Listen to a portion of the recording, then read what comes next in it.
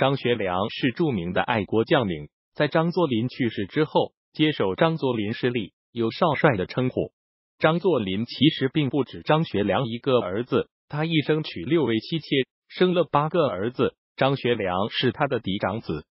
张作霖的次子张学明是张学良的同胞弟弟，张作霖原配妻子赵氏所生。张学明日本陆军步兵学校毕业，后入东北军。中原大战后出任天津市警察局长，后来因为多次粉碎日本人的阴谋，在日本驻华公使的抗议下，被迫出国考察。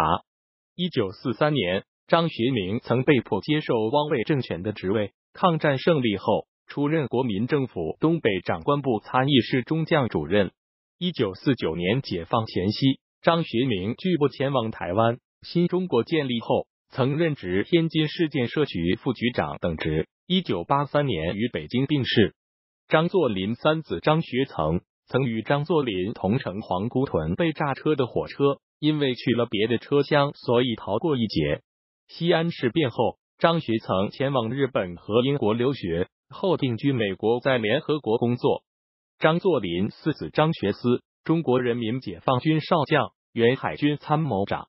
九一八事变爆发的时候，张学思还在中学学习，却有着崇高的爱国情怀，年纪轻轻即积极的从事抗日救亡活动，并于一九三三年加入中国共产党。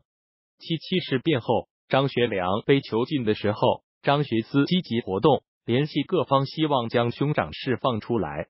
而那一次见面，成为兄弟俩的永别。张学思为中国抗战的胜利和解放战争的胜利做出重大贡献，是值得后世敬佩学习的革命先烈。后因病去世。张作霖第五子张学森幼一，是张作霖与寿夫人所生之子。张学森自幼聪慧，但同时也十分调皮。张作霖虽然宠爱他，但也重视对他的教育。张学森便是张作霖教子们故事中的主角。张学森后来曾与母亲定居于台湾，后来又移居美国，在美国的一家航空公司任职。张学良彻底获得自由之后，与赵一荻一同前往美国，便是由张学森接待。张作霖第八个儿子张学全，张作霖与寿夫人所生。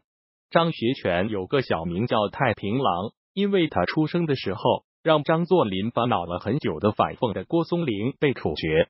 张作霖认为这个孩子是个有福气的人，所以给他取了个小名叫太平郎。张学全与自己的四哥张学思一样，早年参加共产党，后来也曾参加解放战争，在解放战争中负伤，所以退了下来。